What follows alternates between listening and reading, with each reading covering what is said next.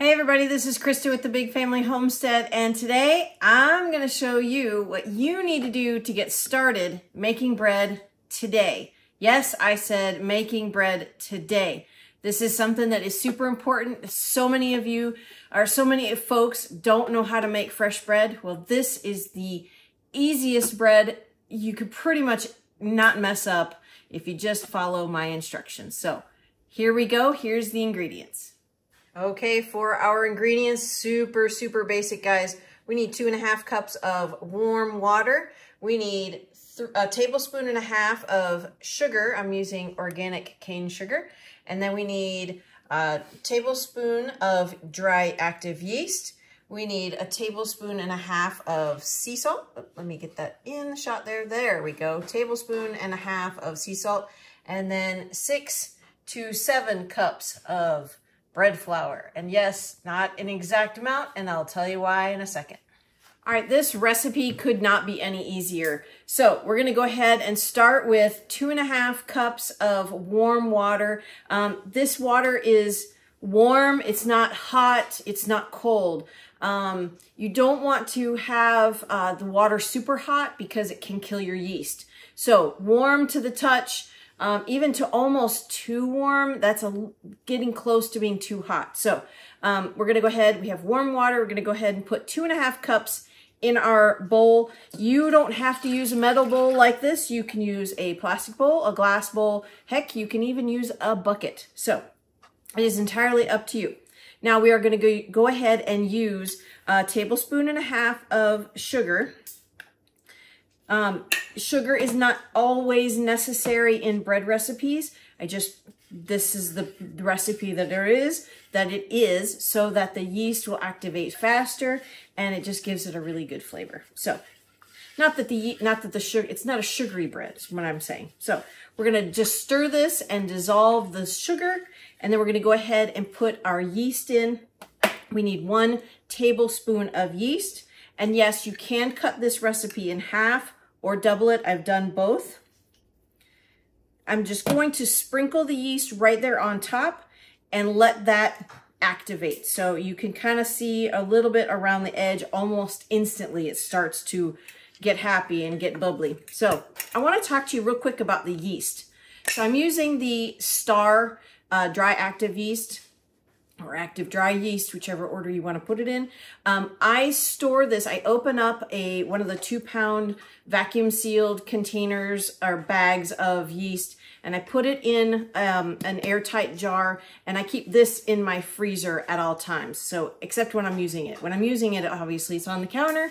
When I'm not, it's in the freezer. So this is going to, this is already getting really nice and bubbly. So I'm going to go ahead and add the flour. I'm to add the flour before the salt. Um, that way it doesn't um, stop the yeast from activating.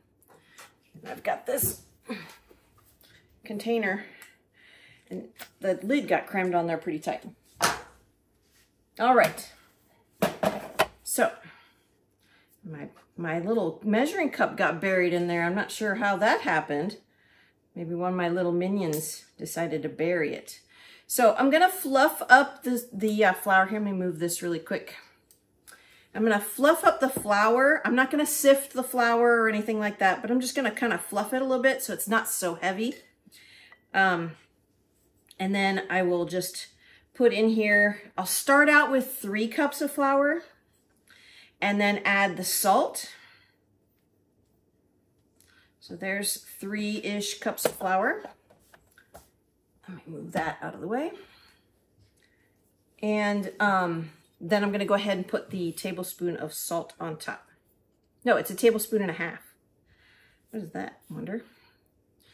Weird stuff, you never know what you're gonna find with a house full of kids and animals. So, all right, now I've got my favorite Dutch whisk that I'm gonna use to stir this.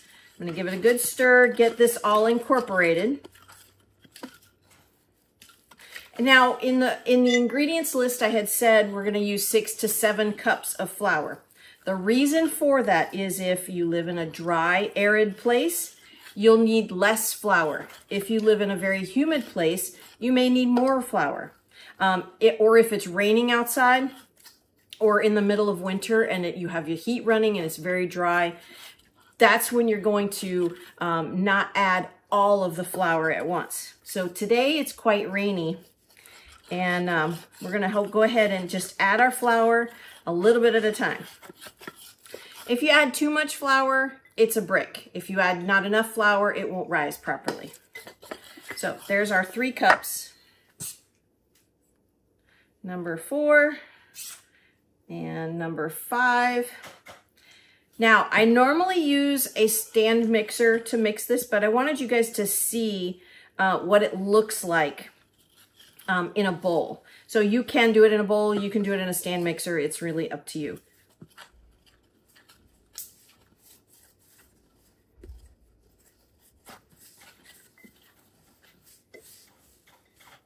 So as you can see, it's starting to come together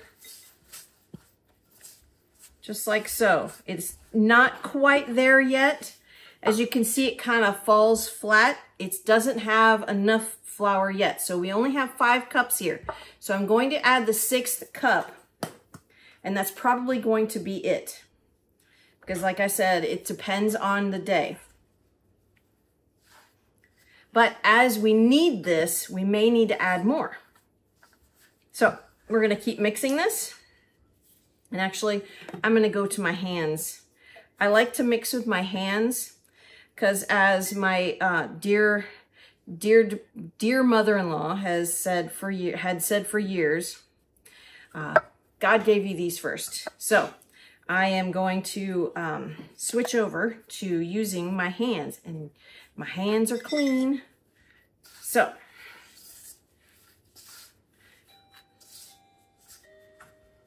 and somebody's pulling in the driveway. and the dogs are to flip out.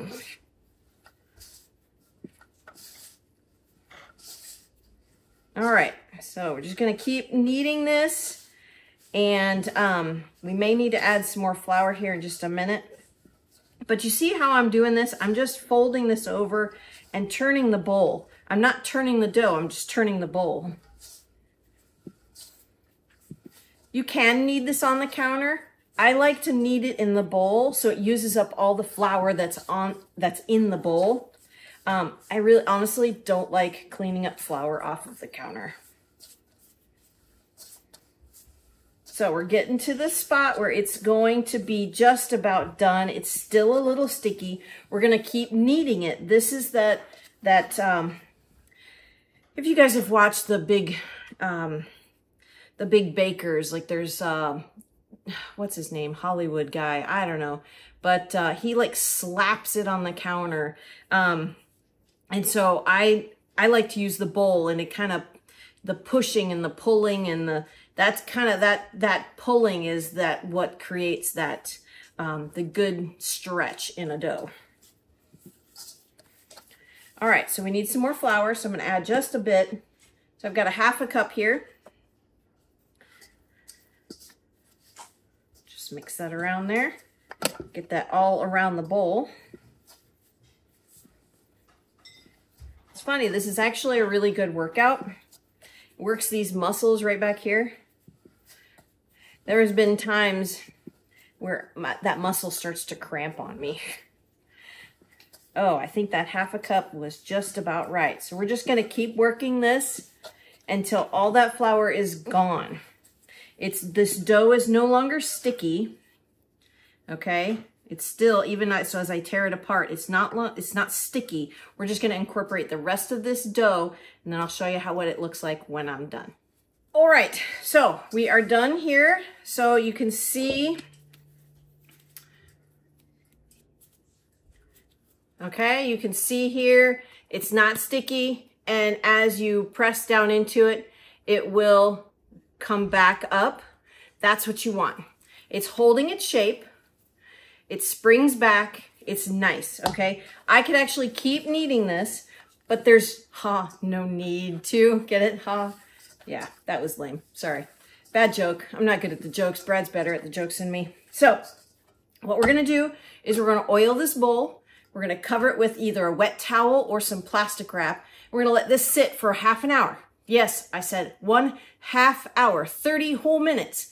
Not the four hours that it takes to rise. Nope, only 30 minutes. This is the fastest bread from start to finish, two hours. So we'll be back in about a half an hour. Okay, so we've waited our time and look at that nice big, it's risen, it's doubled in size in just 30 minutes. I did keep it in a warm oven. Um, it's kind of a colder day today, so I like to put it in a warm oven when it's cooler out. Uh, of course, in the summertime, leave it straight on the counter. But 30 minutes, it's doubled in size. Now I'm gonna go ahead and I'm gonna take the bread, the dough and the camera over to the counter because I can't roll it out on here. I need a bigger space to show you how to roll this into beautiful logs of dough. So here we go. Some flour down on this counter here. Not a ton, just basically to keep the dough from sticking. In a big rectangle, you want a big rectangle, okay? Just like so. now, now I'm not going to knock this down. I'm not going to knead it. I'm just going to roll this out on top of the flour, just like so. So I'll roll off to the side. I need my rolling pin. And then we need just a little bit of flour on top, not a lot. We don't need to add tons of flour to it. It's just basically to keep the flour, the rolling pin from sticking. Now all I'm going to do is just roll this out into a big rectangle.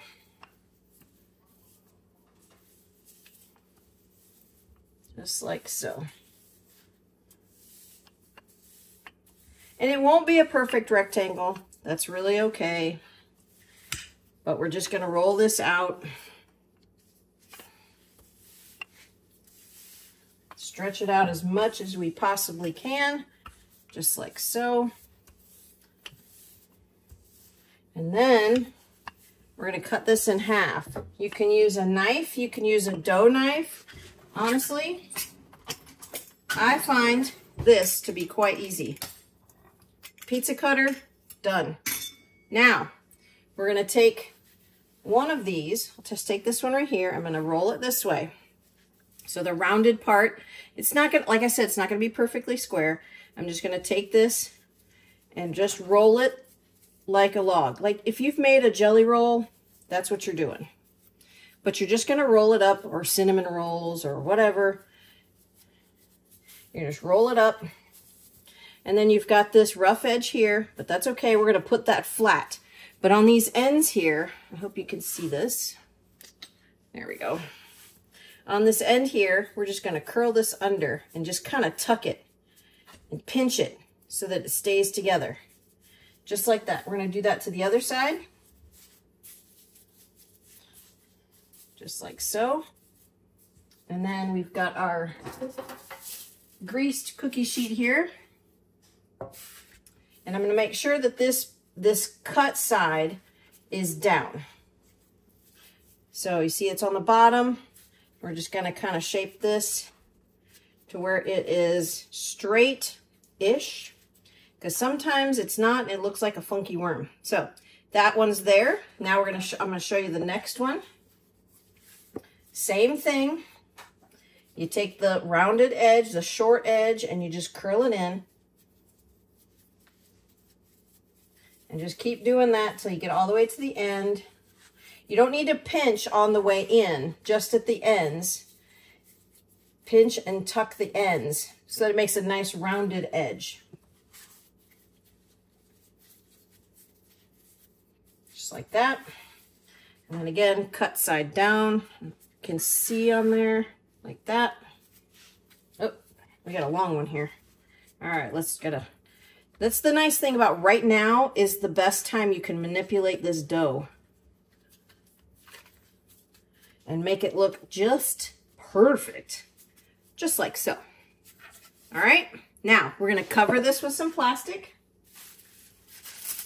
and then we're gonna put this back in our warm place in the oven and let this rise for, uh, guess what, another 30 minutes. All right, side note, you see how this is just like stuck to the counter now? And this would take a lot to scrape this off or to wipe this off with a rag. So I take my dough blade, right? And just scrape all of this off. And it's and I'm keeping it flat. I'm not doing it like this. So I'm not scratching the granite. Or I've used this on um on the uh, Formica countertops as well. And it works really well. that scraped like that. See that? All clean. And then just sweep it up onto the dough blade and it's a lot less mess and your towel, your wash rag's not getting all gummed up with flour. That's the worst. Okay, this is the last step before we bake. So we've got our oven heating up to 375 degrees. We'll bake it for 30 minutes, but we've got to do some decorating to our loaves of bread here. So we've got our everything bagel seasoning. You don't have to use this, but trust me, you'll love it. Trust me. Our family loves it. Yeah. Actually, uh, our daughter Hope, she's used probably half of this and she puts it on her eggs when she bake when she cooks her eggs. She she's yeah, she loves this stuff. It's so very good, guys. She's over here. She's yes, it's very good. Okay, so we need an egg wash. Um, we have one egg here, and I need a little bit of water I forgot to get. So um, I will just go ahead and do without this time. So I, I usually put like a tablespoon of water in here. You don't have to. That's just what I've always done. Uh, this will work just fine. So you just whisk this, beat the egg, uh, just like so. So egg beaten, you guys know how to beat an egg, I would hope. So uh, we're gonna take our plastic off gingerly. If you take it off too quickly, it can um, it can deflate the loaves of bread too easily. Um, so we're gonna go ahead and do a couple things uh, before we put this in the oven. We're going to put our egg wash on. Just and like I said, be very gingerly with this because you don't want to deflate your loaf. Deflated loaves don't look very pretty. So we're just going to brush this egg on here just like this. We're going to keep doing that until it's all coated. We're going to coat the top and the sides just like this. This will make it really beautiful. Um, even if you don't put any of the bagel seasoning on there, it will just give it this golden, just gorgeous color. All right, now we're gonna take our lame, it's our, basically a blade. We're gonna slice it just like this. Just being very gingerly with it and then we'll sprinkle our everything bagel seasoning on top. And I will do this to both loaves, but I'm just gonna show you one. Just like this. You can use sesames, you can use just poppies, um, but our family just really loves the everything bagel seasoning. Just like that. As much or as little as you like. Looks like I missed a spot there, but that's okay. That'll be Hope's piece right there. All right, so I'll do the other one and then I'll show you what it looks like before I pop it in the oven. There they are, all dressed and ready to go. And um, we're gonna put these, like I said before, we're gonna put these into a 375 degree oven for 30 minutes. Um, being careful not to put it too low in your oven um, because it will, it can tend to burn too quickly uh, the bottom before the top is done. So try and put it as high in your oven as possible. So we're gonna go ahead and put this in here.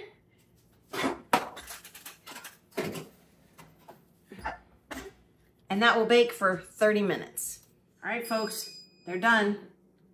Let's turn that off, turn the timer off. Look at that. Look at that. Aren't those beautiful? Set those down right there. All right, now, this took no time at all. Now what I'm gonna do before um, we keep talking, I want to get these off of here because if you leave them on the hot pan, they'll get kind of soggy on the bottom. So you want to make sure that you take them off the pan and put them on a cooling rack. So I just happen to have a cooling rack right here. Slide them right off of there. Oh man, those look so good. This makes so much bread, guys. That six and a half cups of flour make a lot of bread.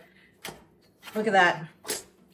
Now I'm not gonna cut this open because you know why? If I do, I'm gonna burn myself and then I'm gonna wanna taste it and then I'll burn myself. So I'm not gonna do that. But I'm gonna go ahead and lift these up so that you can see how beautiful they are. See if I can tilt them just a hair more. There we go. All right, so this bread from start to finish was less than two hours. If you're using a stand mixer, it would take probably a little bit less than that. But by hand, it takes about an hour and 45 minutes. So this bread is not just for French bread loaves like these, right? This is, you can make this into sandwich bread. You can put it into a loaf pan. I would, what this recipe does, this makes three loaf pans. Um, if you put, if you divide this in half and put one half in one loaf pan, it will overflow. Trust me, I've done it. It has overflowed and it makes this massive, huge mess in the oven. So divide this into three to make um, loaves of bread. Or you can take make a smaller French bread, a loaf pan uh, or loaf of bread, and then you can do monkey bread with that. So you would have this, this, you would have three different kinds of bread, sandwich bread, French bread, and monkey bread. So this recipe is super versatile, super delicious, um, and very easy. So I really hope that you get started in your uh, preparedness um, journey making this bread and really having fun with it. This, like I said, this very this bread is very versatile and loads of fun. So I hope you enjoyed this video. If you did, please don't hesitate to like and subscribe. I'm Christa with the Big Family Homestead, and you guys have a blessed and amazing day.